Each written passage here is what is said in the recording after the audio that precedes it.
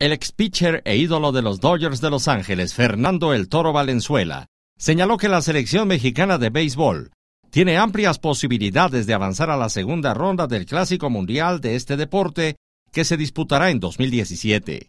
Siempre estamos obligados a hacer las cosas bien. Yo creo que uh, segundo año ya de este clásico que, bueno, segundo clásico que se realiza en México, ¿no? Estuvimos aquí en, en México, en la Ciudad de México también, en el segundo, segundo clásico.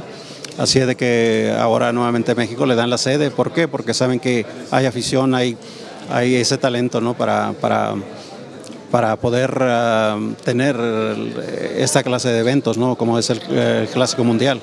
Valenzuela, quien fungirá como coach en apoyo para el manager Edgar González, indicó que ya es hora de que el tricolor muestre todo el avance y calidad que tiene el béisbol nacional.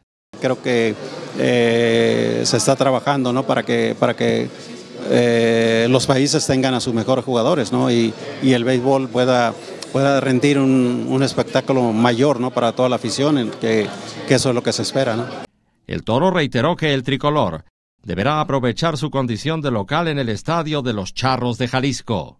Se espera que el equipo salga adelante contra, eh, principalmente porque está en su país ante la afición y además, bueno, yo creo que eh, el talento sigue surgiendo y, eso es lo, más importante, ¿no? Así de que eh, hay que esperar nada más para ver cuál, eh, cómo va a ser el talento que vamos a tener para, el, para este clásico.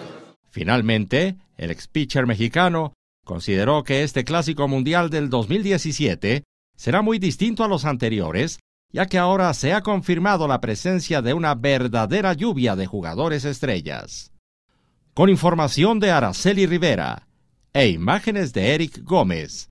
Notimex.